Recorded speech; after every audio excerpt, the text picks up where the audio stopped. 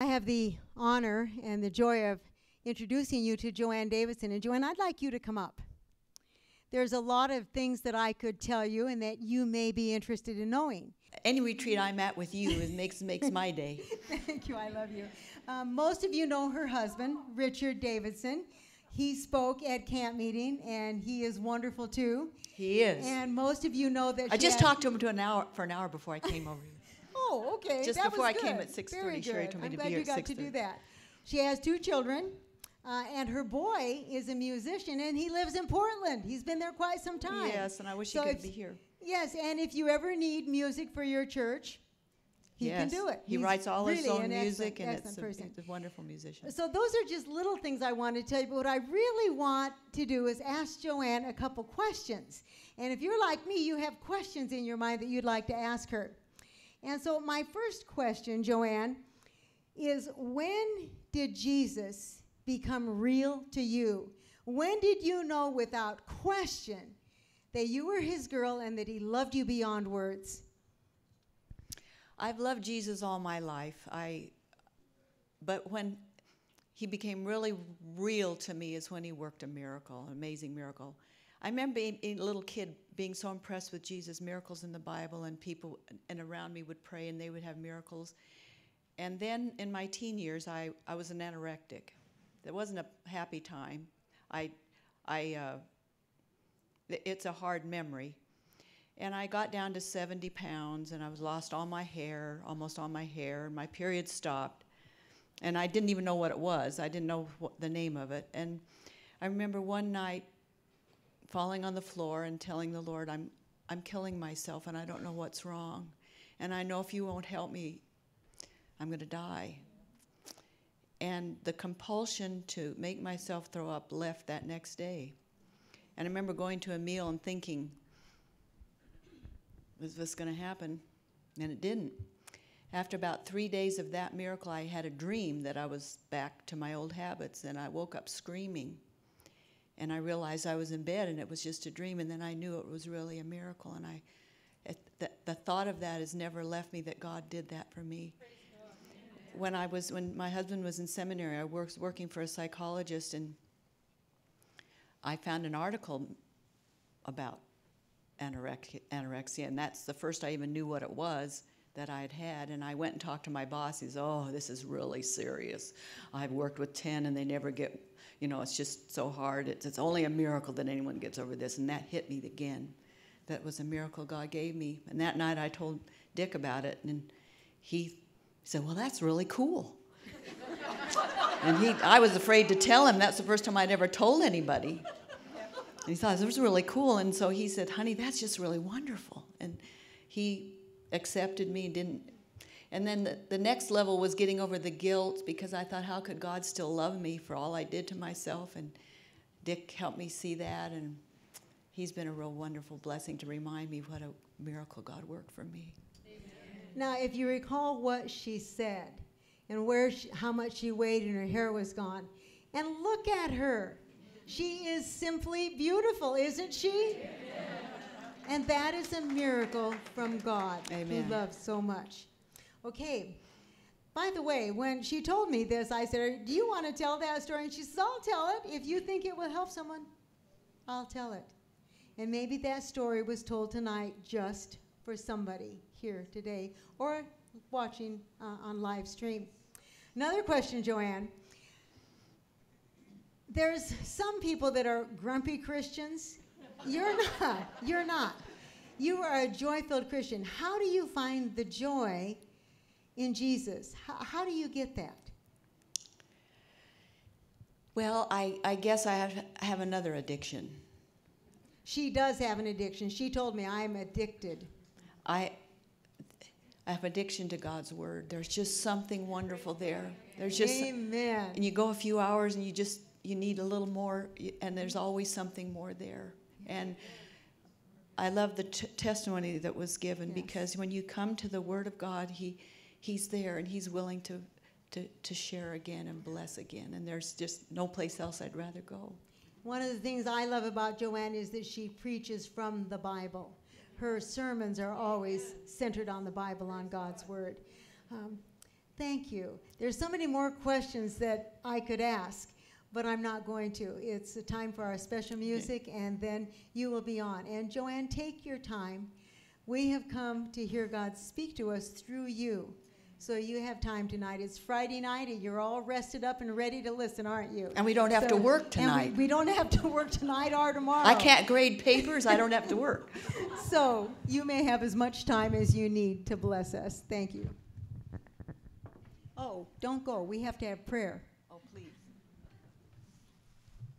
Will you bow with me in prayer? Oh, Father God, it always astounds us how much you love us. We look at ourselves, and if we only focus on ourselves, there is no hope. But, oh, Lord God, you look at us and you see what we can through you become. You see us as we were, but we are no longer that way. All because of you. Thank you for loving us more than we can possibly imagine. Thank you that for you, heaven won't be complete if we aren't there. Thank you that if we're not there, there will be an empty place forever. Oh Lord God, speak to us tonight. Thank you for using JoAnn in the past. Thank you for what you're going to do tonight. We listen for your voice. In the name of Jesus, amen.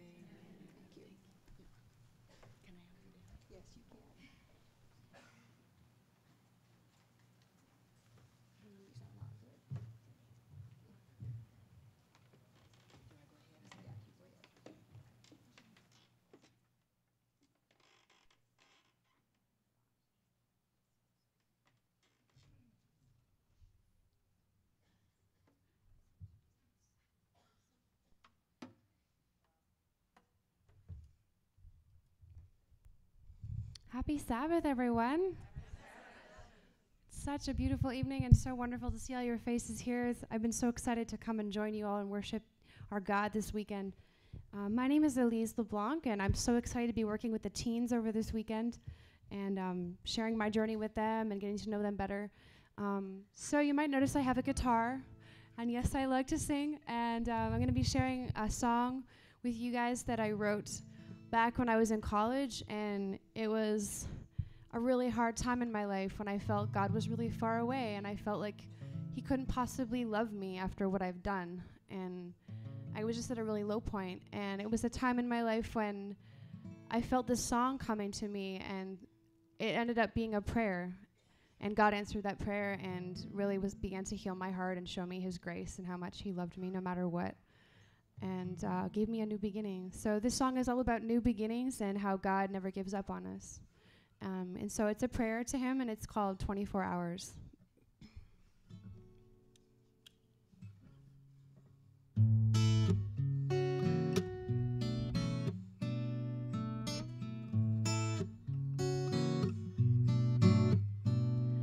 In the quiet of the morning, 6 a.m., I've just begun. I can see it getting brighter. The fog is on the run. I leave the bed unmade and the door unlocked behind. I set out for the world to give it one more try. I've got 24 hours, another chance to live. Send out a prayer, take another step, to who knows where. In the mystery of you is a love beyond time. Show me how, write me down. Lord, make your story mine.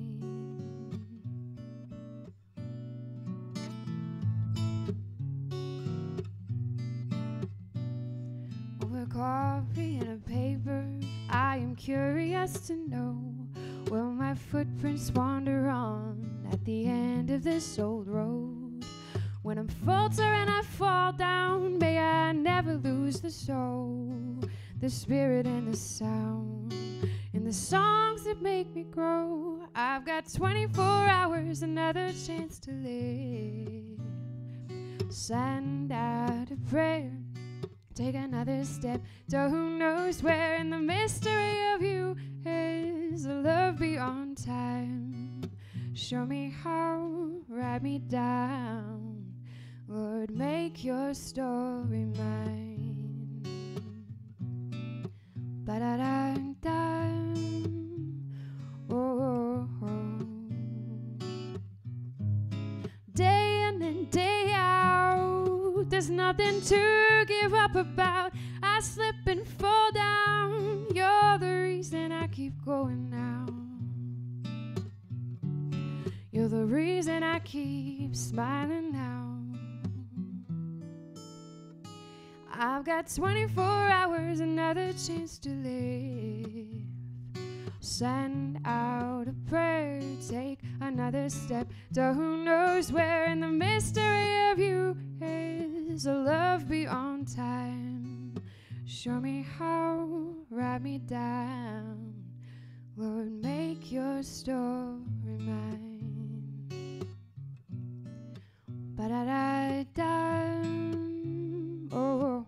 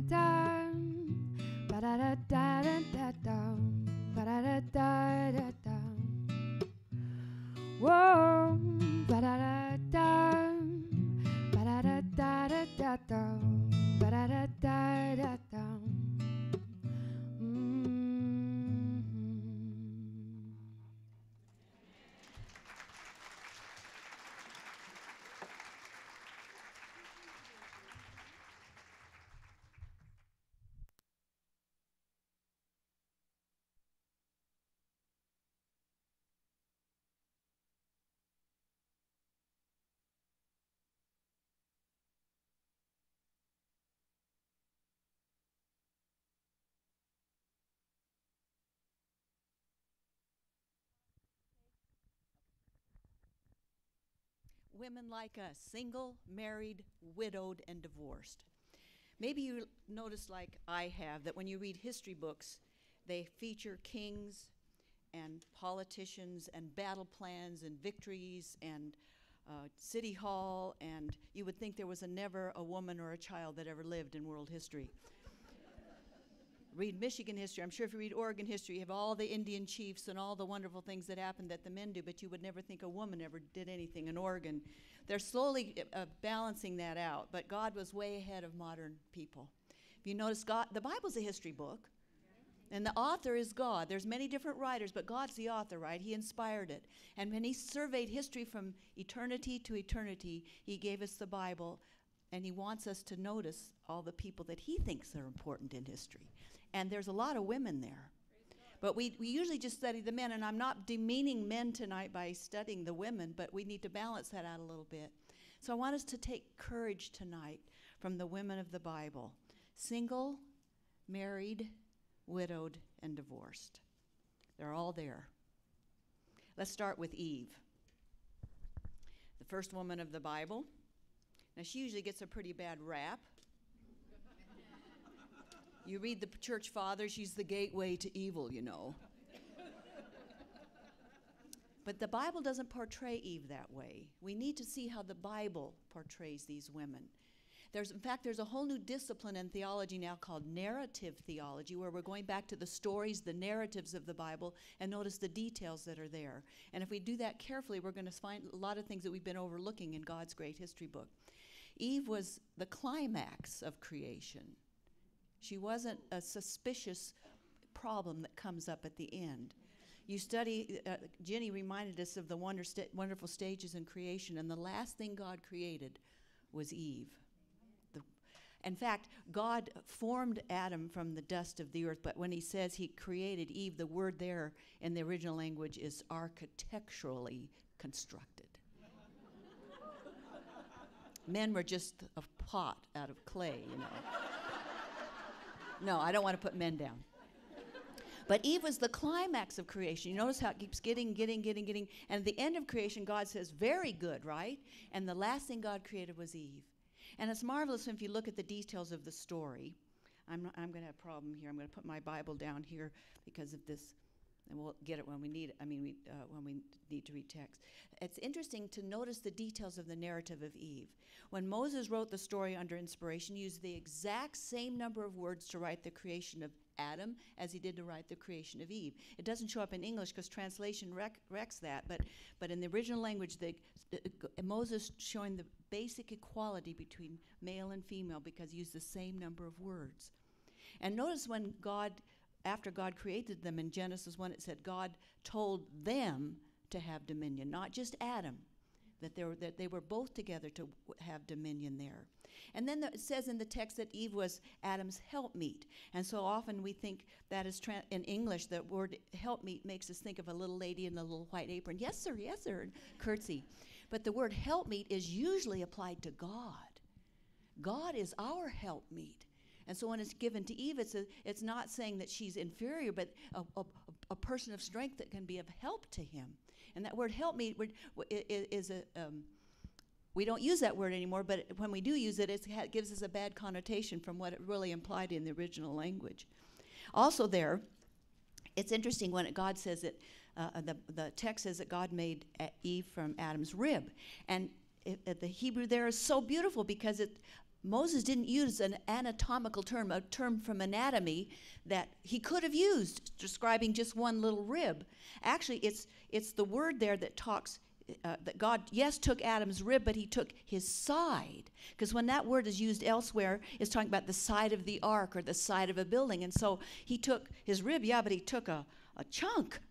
And, and, and Adam notices this. What does he say when he sees her? He says, a, bone of my bone and flesh of my flesh. He knows that they're absolutely equal, made out of the same kind of stuff.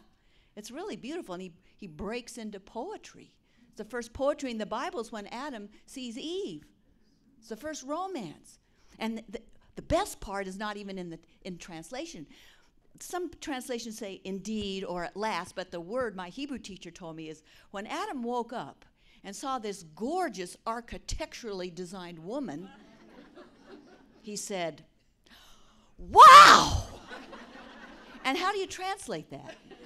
And so they'll say, Indeed, or at last, but it doesn't give the excitement that's in his voice there. Also, you notice that Eve was the first in sin, but you have to notice carefully there too that her sin was a sin of deception. She was deceived, and that's tragic and it's awful, but the worst sin was Adam's sin. His was a deliberate, called in the Bible, a high handed sin. He knew exactly what he was doing. And notice that Adam's sin had to be redeemed by Jesus coming and being a second Adam. There is no second Eve because the sin of deception could be forgiven. But in the Bible, the sin of high handed sin, according to the Levitical rules, it was punishable by death. And so God came and reversed the curse, and he became the second Adam. But Eve was forgiven. Isn't that beautiful? That's beautiful. So we got to put Eve in her place. She was a gorgeous woman and not some problem that God had on his hands after he made a mistake in creation week. Let's move on to the patriarchal period, Sarah. We know she was beautiful because two kings wanted her in their harem when she was in her 80s. That's pretty good looking. And remember when they got when A- when Abraham was traveling once to Egypt and once to Gerar, he told he begged Sarah, "Please lie for me and tell them that you're my sister, so they won't kill me to, to get you in their harem." I think that's kind of cool. he, notice he had to ask her; he didn't order her. The basic equality between male and female is still existing in the patriarchal period. You'll read a lot by the feminists who say the patriarchal period was so bad it put women down. No, it doesn't. You read the narratives carefully. There was basic equality there. If there, if there, if it was a time of hard, uh, hard-fisted uh, maleness, he would have ordered her to lie, but he begs her to lie. He asks her to lie, and then when when he does take Hagar as a surrogate because Sarah hasn't been able to conceive. It was Sarah's idea. It wasn't Abraham's idea. And, and so Abraham was faithful to Sarah, even in her barrenness. It's a, they had a beautiful marriage. They really did. And, and when, when she dies, he, he weeps, it says. He weeps. And God later reminds us how important Sarah is to the covenant, not just Abraham. Listen what God says in Isaiah 51. Listen to me, you who pursue righteousness, you who seek the Lord. Listen to the rock from which you were hewn, and to the hole of the pit from which you were dug. Look to Abraham your father and Sarah who bore you. And so when God refers back to the time he established the covenant line, he says, both Abraham and Sarah. And remember, God had to teach Abraham that Sarah was just as important to the covenant as he was. Because remember, twice Abraham said, Well, can Eliezer be my heir? And God says, No. And then God, and then another time God said, But I have Ishmael, my son. Ishmael is my son. And yet, yes, God Ish, said, Ishmael is your son, but Sarah's son will be the son of the promise. And God had to teach Abraham that it was just as important, Sarah was just as important to the covenant as he was. Isn't that beautiful? But we got to look at Hagar very unfortunate situation that is still working out in the Middle East today. Still working out. But but but look, I mean, I mean, would you have lost faith at 90 years old that you would have offspring as numerous as the stars in the sky? Course, today we can't see many stars anymore because of pollution, but in, back in those days they could see many, many stars in the sky. And God had promised Abraham, You're going to have heirs as numerous as the stars in the sky and the sands on the seashore. Have you ever tried counting the, the sand on the seashore of your beautiful Oregon coastline? Have you tried?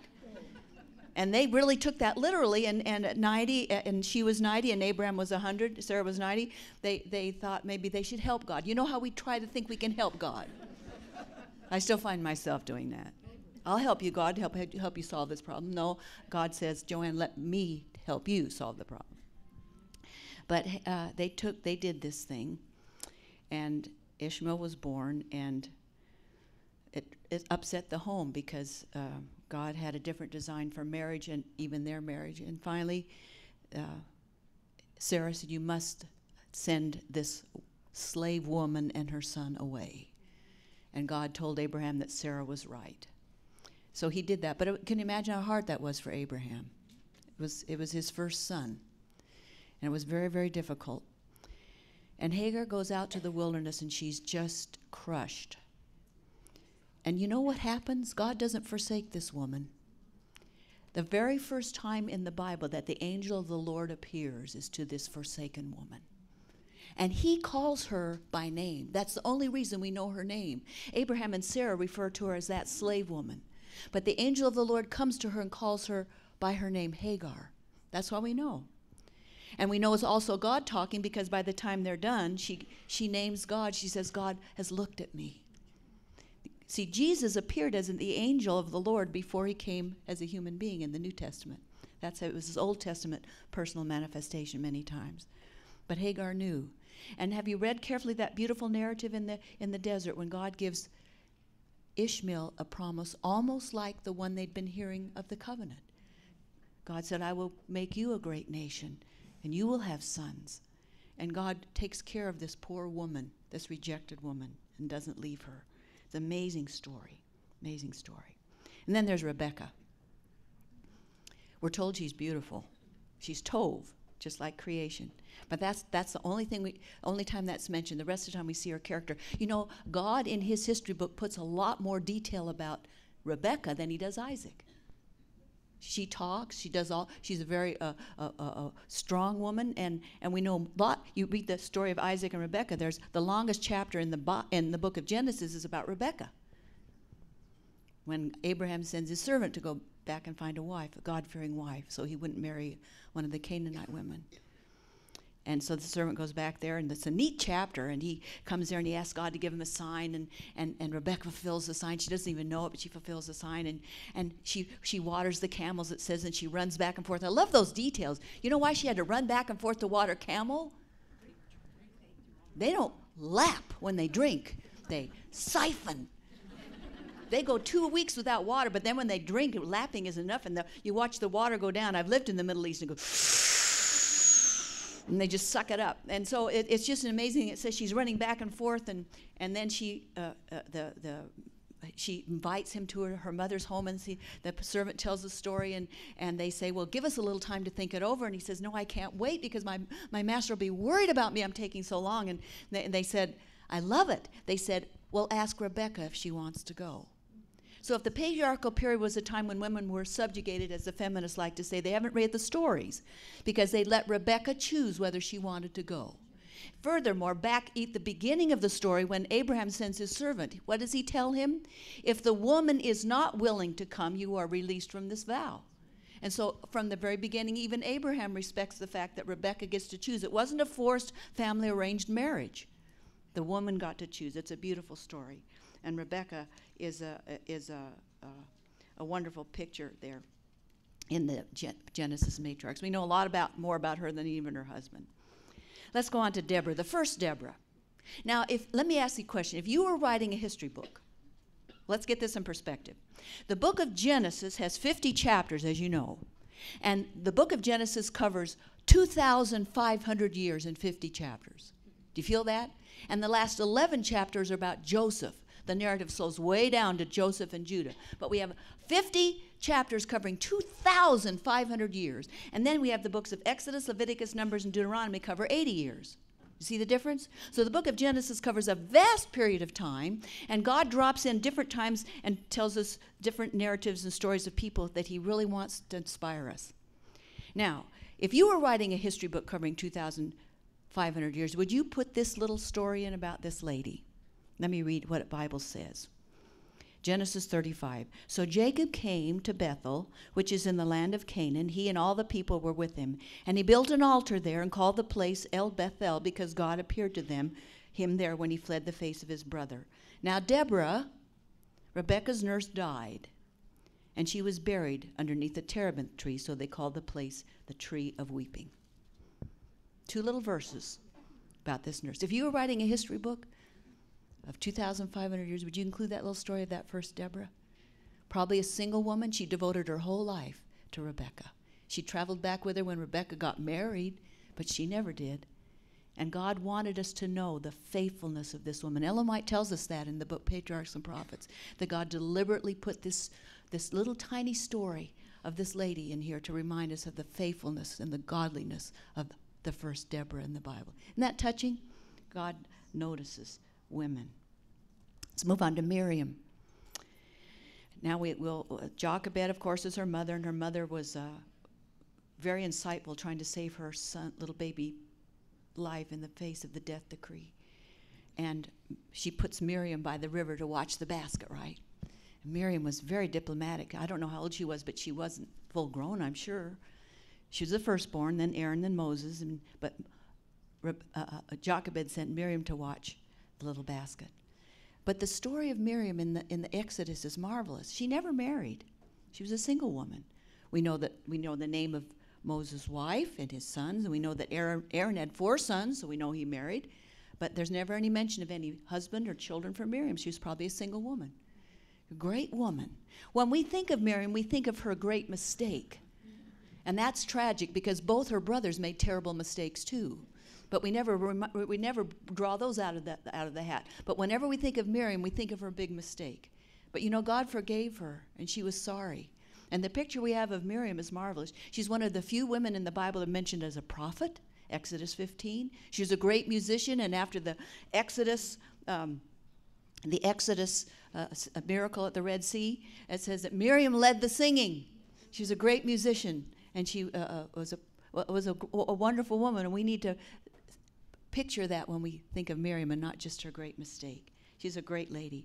There's a genealogy in First Chronicles chapter 6 and it lists all the family names, and that's the only reason we know Moses' dad's name because it lists Amram there, and the in Exodus doesn't even mention him by name. But we know this thing, and it le- mentions all the, the uh, genealogies leading up to, to Moses, and it, then it comes to Amram, and it says, And his sons were Moses, Aaron, and Miriam. Now, the whole chapter is all fathers and sons. And when it comes to this one little line of Amram, they translate it children. But it's the same word used all the way through this fathers and sons. And Miriam, you can begin to see how important she was. She's considered one of Amram's sons. She was a great lady. Let's move on to the story of Rahab. Now, there's no way that you're going to be able to forget her employment. Because every time her name is mentioned, even in the book of Hebrews, we're reminded she was a harlot, she was a prostitute. And some, I used to wonder, well, why, do you, wh- why can't you just tell me once that she's a harlot and then just let her name be appear without the title after it? But maybe God wants us to hear that drumbeat of her profession, to know that there is nobody that falls beneath his loving care. God cares about even the prostitutes. And Rahab was a marvelous story that put, put, puts, puts, that God put in the Bible for her. She's commended for her great faith in the book of Hebrews. She is an agent of salvation for her family. The spies tell her, Bring your family here and we will spare them if you put this cord in your window. And she gathered her family so they could be spared. She, she was a great, a woman of great courage when the spies came. What did she say? We've heard about your God and how strong he is. And she was willing to risk her life to save them. I know she lied, and then when I teach ethics, everybody says, well, see, it must be okay to lie. No, it's not okay to lie. Amen, it's not okay to lie. She is never commended for her lying. She was a she was a Canaanite woman. She was living in a vile culture. She did the best she knew but in the book of Hebrews, when she's commended to say, by faith, uh, we must honor Rahab because she lied. No, we're to honor her because of her faith. In the face of the Canaanite culture at that time that God said must be destroyed because they were burning their children, Amen. Rahab stood up for the true God of heaven and did the best she could. And God put her, her, her name in the Bible.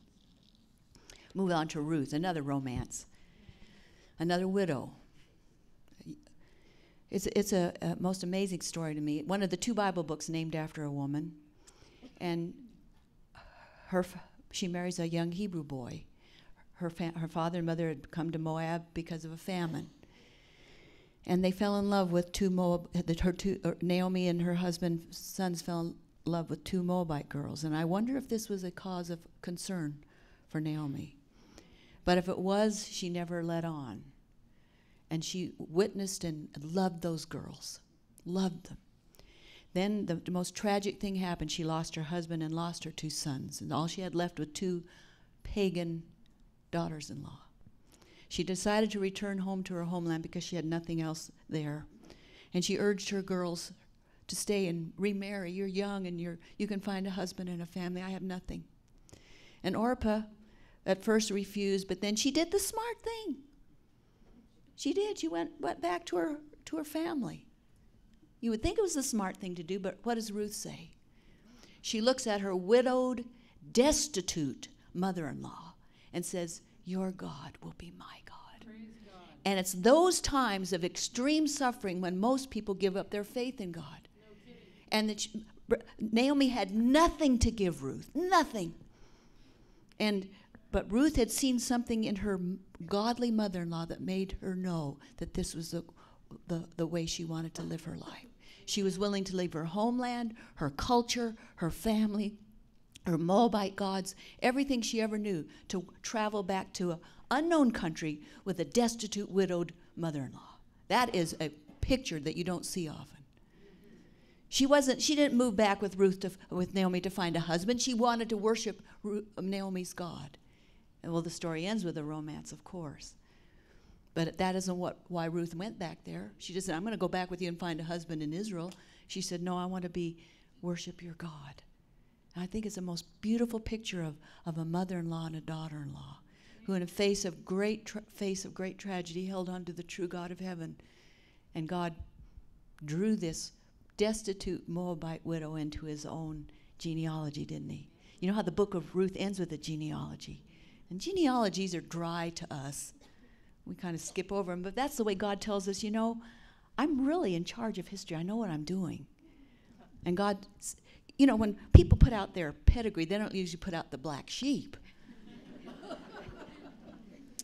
but Jesus did. He put out this destitute Moabite widow. Amen.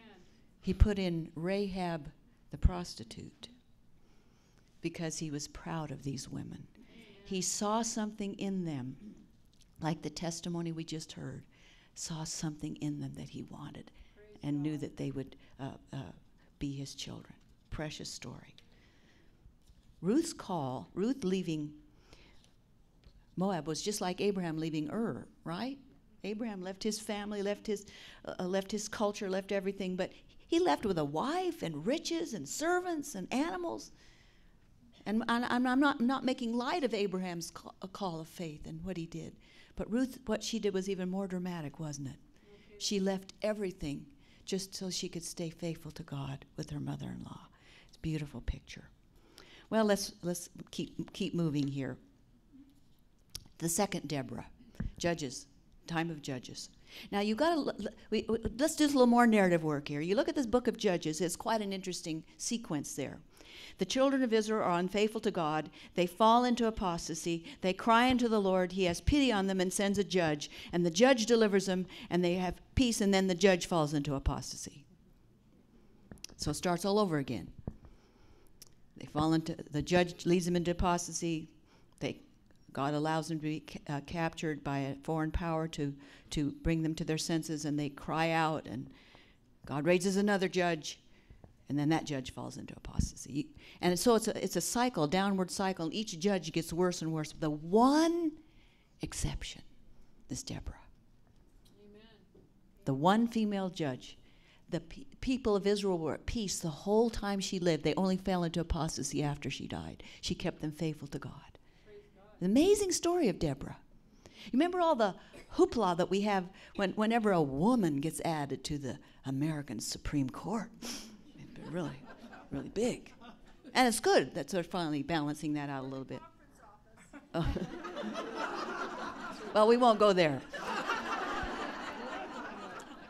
but Deborah was an Israeli, was the Supreme Court justice of the Israeli Supreme Court. That's what she was, that she was a judge. And men and women would come to her and she solved their problems. She was also a prophet. And uh, she was also a great general in the war. Remember, the king would not go to war without Deborah. She says, What's the matter? God's called us to the task. Let's go. He's going to be with us. And it, it took the, Deborah to give him courage to do this. She's also a musician. Judges 4 tells the story, and then Judges 5 tells us her song that she composed as the result of the miracles that God worked. And there she, we see that she's a wonderful poet. She, uh, I read a, a commentary by a man once and he said uh, he wonders if in the original language they misspelled the name and, and that it was really a man. I wish I could have asked him in person, Did you read the whole story? It says she was a wife, too. That one little phrase you mustn't forget. So we can't mistake her. She was a wife, so she, we know she was a woman. Let's go to the Shunammite woman. Do you, do you know, remember Elisha's miracles when he comes? How many of those are for mothers and widows? Isn't that marvelous? Remember the widow's oil, and she could she was going to have to go into slavery, and Elisha works a miracle for that widowed mother for her two children with the oil that didn't run dry. And then there's the Shunammite woman. And usually when we study the story of the Shunammite woman, we always think of the wonderful miracle that Elisha worked. You know, there's 25 verses describing what this mother did only three or four verses describe the miracle. What's God wanting us to notice? He's wanting us to notice that what a mother does for a sick child is reflecting his very image. Because that was in a day when a woman could not just go to the store and buy the soap she needed, or the shampoo she needed, or the cloth she needed to sew something, or buy a rug to put on the floor. She had to grow the cotton, grow the wool, make the thread, weave the cloth, weave the material before she could even sew. That was a day you couldn't go buy pasta. If you wanted pasta, you made it. And, and, and yet, when her boy was sick, she spent all, it takes 25 verses to describe all she did to take care of him. I love that picture in the Bible. God is showing that what mothers do is part of what God is in God's heart Himself. He says, Look what I do for my kids, tending them when they're heart sick and hurting. And have you noticed how some things never change? What happened? What did the dad say when the little boy got sick? take him to his mother. Some things never change. But it's, it's a beautiful picture of. Uh, it, why, why did God spend so much time on this woman and just a few verses on the miracle? I think that I think we as women can understand that God wants us to see how He views the world. Let's look at the Queen of Sheba. one of the rare pictures in the Bible of two monarchs discussing wisdom and not making war. It's the only picture in the Bible like this. Every time you have kings together and generals, they're planning wars and war plans. But this is the one solitary picture in the Bible of two monarchs discussing wisdom. Don't you like what it says there? It says Queen of Sheba heard about Solomon's wisdom, so she came with a very large retinue to test him with hard questions. So she was no dummy either. and Solomon was able to answer all of her questions. And you know what? What was her testimony when she was done? Not praising Solomon. She says, How great is the God you serve. How, how blessed are the people to be under the kingship of your God. And Solomon was able to wis- witness to, to, to this pagan queen about the greatness of God. And she was uh, able to ask him hard questions. You know, sometimes I have to work at thinking up hard questions for my students, but the Queen of Sheba came with hard questions. She was a great lady. Huldah, 2 Kings 22. You remember the, the history of Israel, how slowly and slowly they fell into apostasy, and finally, apostasy, and finally they were using the temple for the garbage dump. You remember that? And then the little boy Josiah becomes king, and he has them clean out the temple, and they find a scroll that shows you how far they had gone from God that they didn't even know what the scroll meant. But they, the, the scribe and the, the, uh, the men who found it brought and read it to the king, and he, and he said, Oh, this is awful. This is the state we're in. This is exactly what we're doing. This means that the curse of God's going to be on us. What does this mean? And, and he, what does he do? He says, Take it to Huldah and ask her to explain it to us. Well, some male commentaries say they said to take, he said to take it to Huldah because there were no male prophets around. That's true. But they haven't done their homework because Jeremiah and Huldah were contemporaries. But when the king wanted to understand what the Bible said, he said, Take it to Huldah. And Huldah reads the text and explains to them what the text meant and what God uh, had, had said would happen when they would fall into deep apostasy. It's, a, it's an amazing story. And again, it can't be a man like they try to say, well, maybe it was a man, maybe they spelled the name wrong, because again, God puts in the nice little detail she was a wife, so we can know it's a woman. great lady, great lady. She was a theologian, and when they wanted to understand what Scripture meant, they took it to Huldah. Let's go to Queen Esther, the second Bible book named after a woman. You know the story of this um, young captive girl who was apparently very beautiful, and her father heard about the beauty contest and saw the beauty of Esther, said, You should go see what happened, but don't tell anybody you're Jewish because they're captives there. So she goes and she wins the king's heart and she becomes a queen. And in the time of the most grave danger to her, she admits her ethnicity to save her people's life. At the time of the death decree, when you would think she would keep, keep it undercover, she plans a way to, to save her people's life by admitting who she is. You notice all the women in the book of Esther are very strong women. Vashti, the king's first wife, would not appear before the drunken men of this party in a way that suggests impurity. She wouldn't do it. She was willing to lose her crown to, to, to stay pure. And then there's Zeresh, who is uh, Haman's wife, who, who had to explain to him you know, what's happening here is, is bad omen for you. She could see it, but Mordecai couldn't, couldn't see it. But Esther, she was a, she was a, a brave woman, and her, her uncle said, you've got to, you've got to do something. And she says, but I, you've got to go before the king and plead our life. She says, but I can't. The, the custom here is that you, you have to be invited. And I haven't been invited for, for a long time. And he said, maybe this is the reason God made you queen Maybe, that, maybe you're in the kingdom for just such a time as this. And she was willing to risk her life. You know, Ahasuerus was not a um, godly monarch. He would just kill people when he was tired of them. And, and, and yet, uh, God moved on his heart, and he was able, he, Esther was able to work with him and save her people's life. A marvelous picture of the courage of this young woman. Another Savior in the Bible. Let's move to do some New Testament women. Elizabeth, Zechariah's wife, Luke chapter 1. One of the few times a priest's wife is named.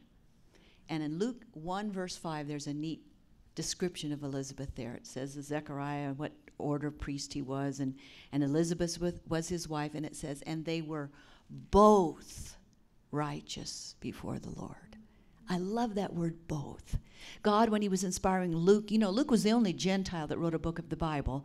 And when God inspired this great physician to write this story, He, he inspired him to put that word both in there. That these two were two, two godly people, husband and wife, not just the priest. The neat story. And then there's the, the, the picture of Mary. You know, God is the only person that was able to choose his parents we all got what we got. But Jesus handpicked his parents, and he picked Joseph and Mary.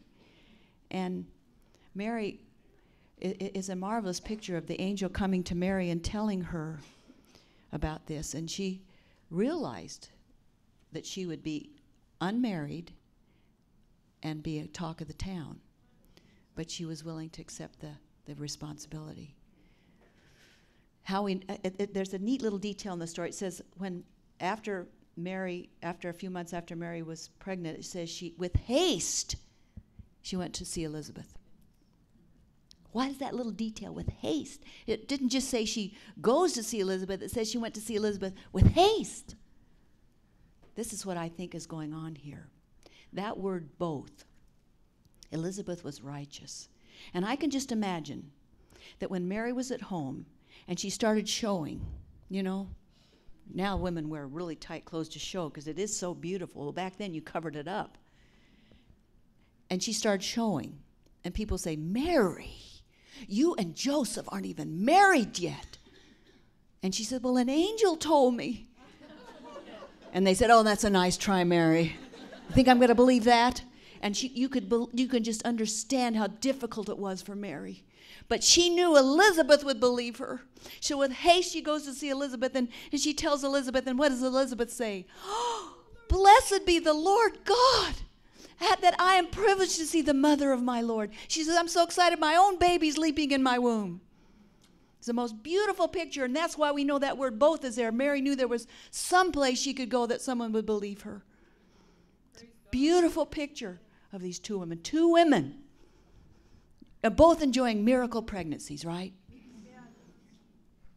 Elizabeth was well past childbearing age. That was a miracle. Mary wasn't married. That's a miracle that she could be pregnant. And God gave these two godly pregnant women, both sharing a miracle pregnancy, to have this precious time together because both of their sons would later die violent deaths. But God gave them this one chance to affirm their faith in what God was doing in most unusual ways. Beautiful picture.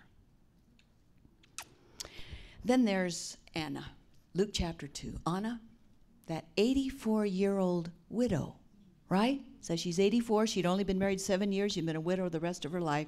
And she spent her time praying and fasting in the temple for the Messiah. And then when Mary and Joseph came in to dedicate baby Jesus, she knew that that was the Messiah. See, people who pray a lot recognize God's hand when it happens. And she knew, and she, and the verse goes on to say, she went on to announce the birth of the Messiah in Jerusalem. Now, that verse is so cool in the original language. It's very nice in, in English, but there's much more there in the original language in, in English, we have, a, we, we, we know how often we do something by saying, I did it once, I did it twice, I did it four or five, six times. But in the Greek language, you shape the verb. And so when it says she spoke of him, the, the shape of the bird, ver- verb will tell you whether she did it once, twice, or over and over. And the shape of that verb that she spoke of him in Jerusalem is means she did it over and over and over and over again. In the capital city of Jerusalem, she announced the Messiah's birth in the capital city of Jerusalem. You would have thought God would send a handsome prophet to do this. He took an 84 year old widow to announce the birth of the Messiah in the capital city of Jerusalem. That's right. So when you're a widow and you're in your 80s, don't think that your life is over. Just say, God, what do you want me to do for you today? What do you want me to do for you today? Wonderful. God, Jesus was always thoughtful of widows, wasn't he? Remember in the Old Testament, he told people, You must take care of the widows and the orphans. And Jesus did this in his own life, didn't he? He was it over and over again. The widow with two mites. She comes to church, and all the dignified, wealthy religious leaders, well, they didn't take up offering the way we do now, with these silent dishes passed between the pews. Back then, you had a big metal, uh, bra- a bronze um, uh, um, urn, and, and they would drop their money in one coin at a time, so you would hear this clinking sound. Well, not everybody, but the ones that wanted to impress you. This little widow comes to church and she wants to give her offering. And she knows it's nothing compared to what the rich people are doing. And so she sneaks in shyly and just quickly drops them in and hurries away. And Jesus is always turning the tables. And he told his disciples, You see that woman? She gave more than everybody else here today together because she gave all that she had. Amen. The rest of them gave out of their surplus, but she gave everything that she had. Jesus is always honoring widows. He knew. See, it's the heart that makes the gift, it's not the amount. And Jesus understood that and praised this woman. Then there was the widow of, of Nain. Jesus stopped a funeral procession and shows that he has the power to resurrect from the dead. So we can rejoice that resurrection day is coming. But he stopped a funeral procession. This, this was a widow. This is all she had left. She'd already buried her husband in this cemetery. She knew the way to the cemetery all right. And now her only child had died, and they were burying, going to bury him that day. And I'm, sh- I'm sure that was the most devastating day of her life. And she, her tears were blinding her, and all of a sudden she heard someone stop the funeral procession. And Jesus doesn't ask this woman to have faith. He doesn't ask her to forgive if she wants her sins forgiven. He just raises her son. Most marvelous picture of the, of the Messiah and his love for families and widows. Doesn't ask her to show, do you, do you believe I can do this? Now, he does that with some people, and he needed to. But in this case, with this poor widow, he just healed her son. And, it says he lifted him up and brought him back to his mother. Jesus ever loved widows. Let's look at one of Jesus' Sabbath miracles. You know, in the Desire of Ages, it tells us that Jesus performed more miracles on Sabbath than any other day of the week. See, Sabbath is a day for miracles. Sabbath is not a restriction, Amen. it's a day for blessing and, mi- and, miracles. And we've got to start thinking of it that way rather than, let's see, when can I get back to my real life? The Sabbath is the zenith of life. And Jesus is preaching in the sanctuary, uh, sa- uh, temple one Sabbath morning, and this crippled woman comes in. Says she's bent over double. She doesn't recognize people by their face. She can't straighten up. She recognizes people by their shoes. Oh, hi, those are pretty tennis shoes. Yeah, I remember you. Hi, happy Sabbath. oh, you have sandals on. Yeah, I remember you. Happy Sabbath. She couldn't look anybody in the face. And Jesus says Jesus was teaching, and he saw her come in, and he stopped the sermon. This is wouldn't it be fun to do? And he tells her to come up front. And I'm sure she's embarrassed because she just wanted to be in God's house on Sabbath.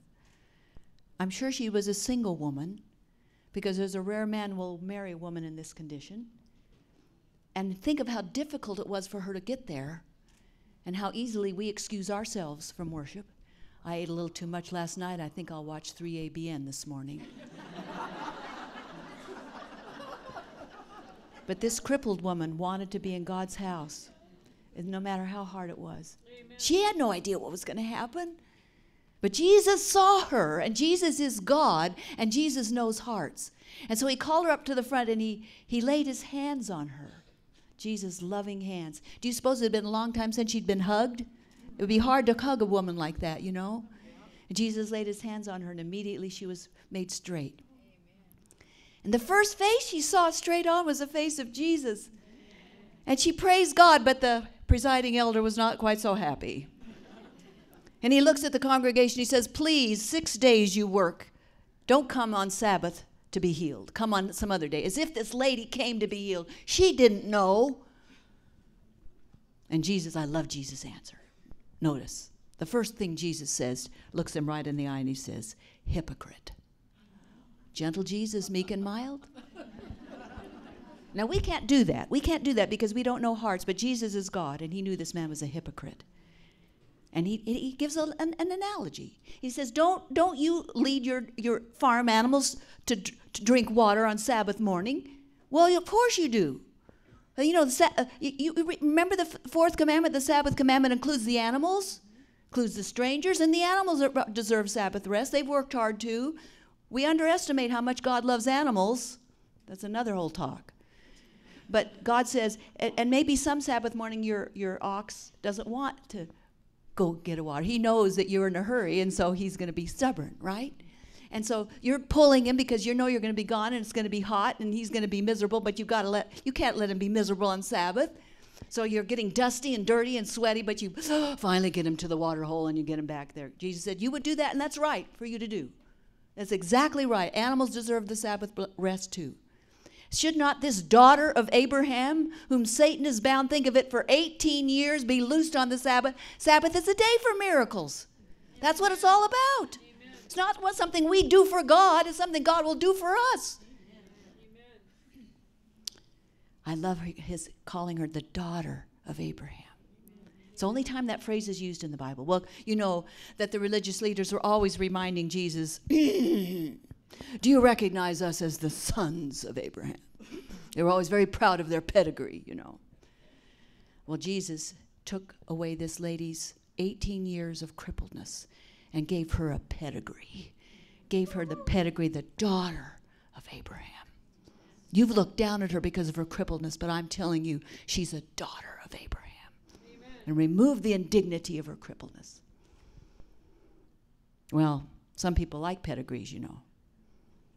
I was on a plane once flying back from Boston and happened to be sitting by a very handsome man, young man, well dressed suit.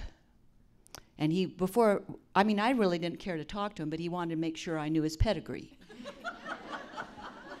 I wanted to read and give me a chance to read, you know. So he wanted me to know that his ancestors had sailed to this country on the Mayflower.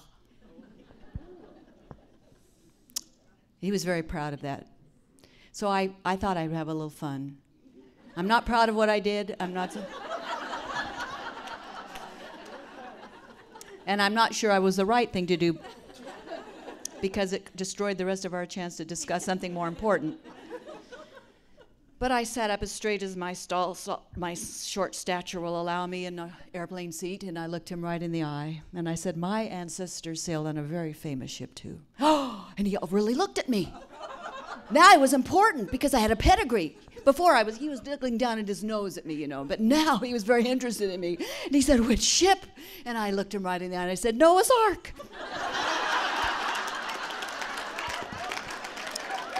and he went. And that was the last words we spoke to each other. So I'm not sure it was the right thing to do. I think the Lord would have probably liked me have a better a better discussion. But Jesus gave this woman, this crippled woman, the uh, honored pedigree of a daughter of Abraham. Then there's the bleeding woman, the woman with the issue of blood. She wants to see Jesus, probably a single woman, because be, be, being bleeding at that time in Jewish culture would make her unclean. So she heard of Jesus and knew that would be her last chance. But she didn't dare come to him because she knew that she would defile him. But she thought maybe if I could just touch his robe. And so she presses through the crowd and reaches through and just barely makes it. And instantly she's healed. And what does Jesus say? Who touched me? And his disciples can't get it. Everybody's around you, Lord, and you ask who touched me, and Jesus knows the difference between yearning fingertips and pushy elbows. And he wanted this people that were crowding around to understand this woman's faith. His robe wasn't magical, it was her faith that did it. So he kept asking, and finally the lady thought she should confess, and she thought maybe Jesus would scold her for defiling him, but Jesus held her up as a paragon of faith to everyone else because she had trusted in Jesus. Daughter, your faith has made you well, not my robe, and held her up. He's never ever able to say that about his disciples, that your faith is honorable. He never did that to them, but this great lady's faith. Let's move on to the Syrophoenician woman, this mother from Tyre and Sidon. That neat passage where it says Jesus needed to go through Tyre and Sidon, and by the end of the story, you know why. And the Syrophoenician mother. This is, sort of goes with the Shunammite mother in the Old Testament. It's the New Testament mother now. Follows Jesus and begs him to heal her daughter. And apparently she was very annoying, just saying, Oh, please, please, please, and just wouldn't let him go. And the disciples are disgusted because they're, they, they're prejudiced against pagan people. And they say, Send her away. This is embarrassing. And Jesus turned to her and said, You know, it's not right for us to give, to feed, to, to uh, my, my mission is to the Jewish people. It's not right for me to cast the bread to the dogs. And people read that and they think Jesus is being rude. But Jesus was showing, Ellen White in Desire of Ages tells us that Jesus was showing his disciples what they sounded like. He was giving them an object lesson. This is what it sounds like when you treat people this way.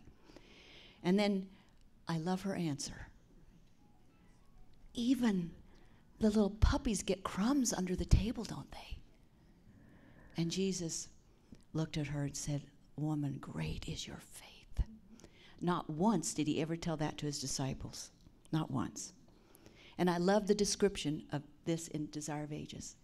Ellen White writes that Jesus went to Tyre and Sidon because he knew of this woman was seeking him, and he wanted to put himself in her path. And when he gave the answer that would have discouraged most people, and which has been wrongly interpreted in many commentaries, Ellen White adds the detail. When Jesus said that, he had a compassion in his face that he couldn't hide. And so she pressed her point home. Isn't that beautiful? Jesus put himself in her path so that he could show his disciples a woman of faith. Precious, precious Jesus. Always loved mothers and widows. Let's move on to a couple more. Martha. Martha, we usually think that Jesus is criticizing her and applauding Mary, her sister. But remember when Martha gives her testimony of faith at Lazarus' grave, I believe you are the Son of God. So she was a student too, and she loved Jesus. And Jesus, when he said Mary has chosen the good part, he was not condemning Martha. He, see, this, if you read the story carefully, Martha was a very hospitable woman, and she wanted Mary to do that with her. And God, Mary, God, Jesus was telling Martha, you know, Mary is doing her thing and you're doing your thing, and this is okay. See, it wasn't right for a woman to, to study Torah in those days to sit at the foot of a male teacher. And so Jesus was saying, Martha, what you're doing is wonderful, but that's not Mary's calling. She's chosen her calling, and, and that's good too. And, and we can see that Martha was obviously listening all along anyway because she could make that testimony of faith even before Lazarus was raised and she knew who Jesus was. She's a great lady. The gift of hospitality is a wonderful thing. The Samaritan woman, two more.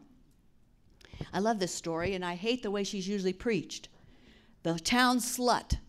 You know, Jesus comes to the well. It says Jesus was tired, and so but notice it says Jesus must go through Samaria. Why is that must there? By the end of the story, we know. And he was said the time of day. They say, well, the, the time of day listed there is the middle of the day, and so the the woman of Samaria was creeping to the well, so no one would see her in the heat of the day because she was so embarrassed. That is not the way the story reads. The story reads that Jesus was tired and thirsty, and it was the middle of the day, and explains it. And if you've ever lived in a culture where there's no running water and the town well is the source of water, you know that the well is always busy in the middle of the day, especially when people are hot and thirsty.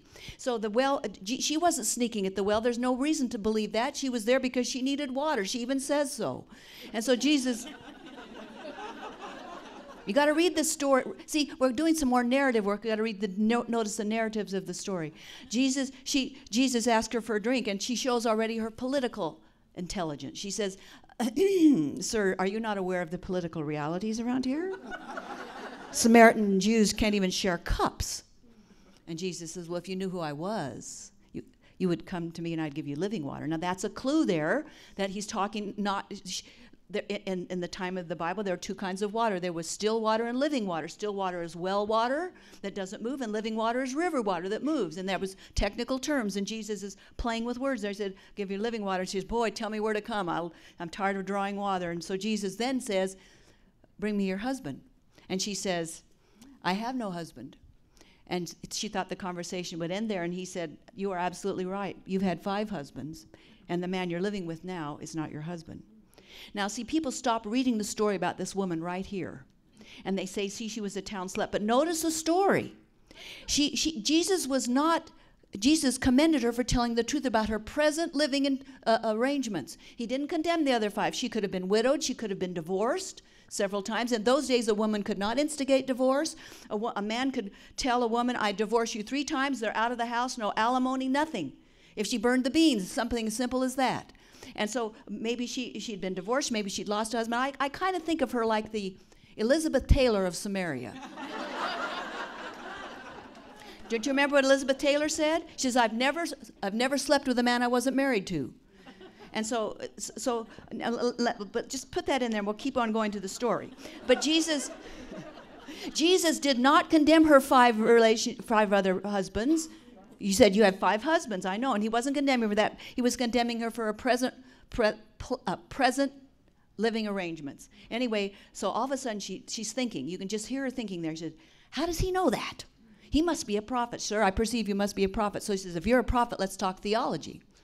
She first talks politics, then she talks theology. You Jews say we got to worship in Jerusalem, and we say the Samaritans say this. What, what's the what's the true answer? And Jesus says, the real answer is this: that the true God must be worshipped with spirit and uh, spirit and truth. Jerusalem or any place doesn't matter. And he gives her the longest st- uh, uh, uh, longest dialogue on true worship anywhere in the Bible to a pagan Samaritan woman. He couldn't even give this couldn't even give this talk at home. Ellen White says this is the most important conversation we have in the New Testament to a pagan woman. So anyway, she says uh, she talks theology. She says, where, do, where should we worship? And Jesus says, God is spirit, and you must worship Him in spirit and in truth. We're not talking about place anymore, spirit and in truth. And that's really good counsel. There's a lot of churches that have a lot of spirit and they have no truth. No kidding. We have a lot of Adventist churches that have a lot of truth and no spirit. And we've got to have them both. We've got to have our hearts and our minds engaged with worship of God. And, and, and all of a sudden her heart starts melting. And she said, You know, the Messiah is coming. And when he comes, he will teach us all things. And Jesus said to her, I am. There's no he there. He gives her that holy name of God from the Old Testament. And what does she do? She runs right back to Samaria. She leaves her water pot. And this is why you know, if you finish the story, you know that she wasn't a town slut. She tells the men of the city, Come and see a, ma- a man that told me everything I ever did. Maybe he's the Messiah. Now, you tell me how many men would go see a man who could tell them everything they ever did if they were seeing a prostitute?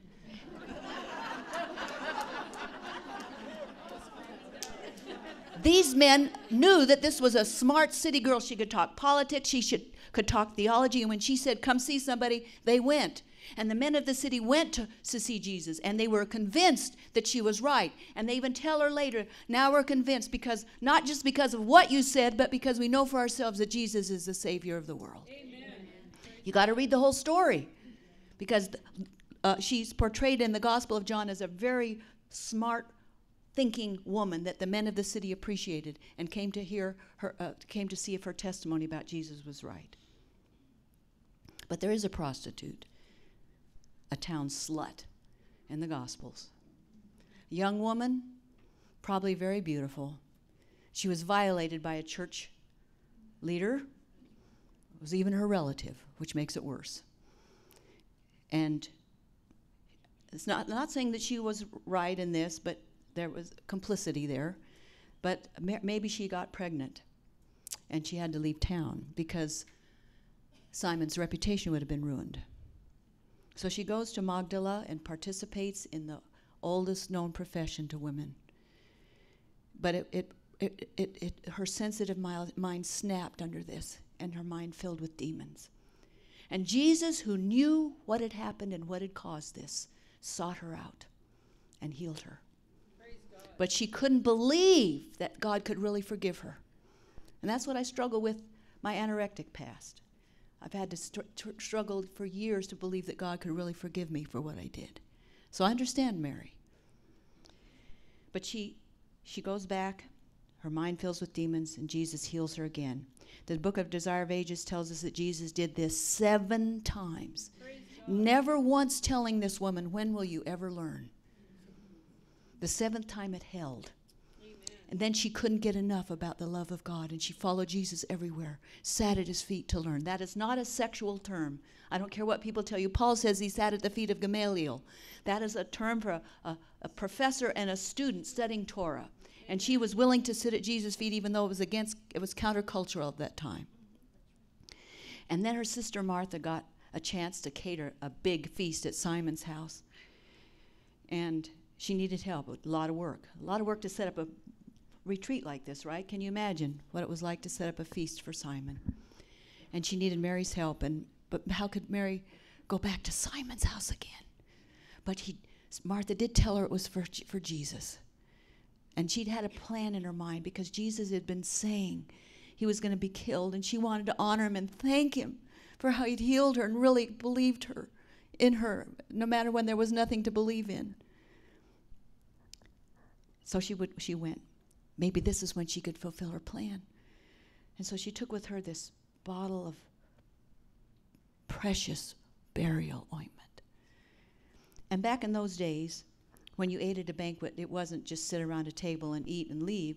It, you, it lasted several hours, and people laid on couches and they had several courses, and it lasted a long time. Sherry, maybe next year you should have a banquet like that. It'd be kind of fun. And Mary thought, I'll wait until about the third course when they're all eating and drinking, and I'm, and I'm going to anoint Jesus. I just have to do this before he dies. I want him to know.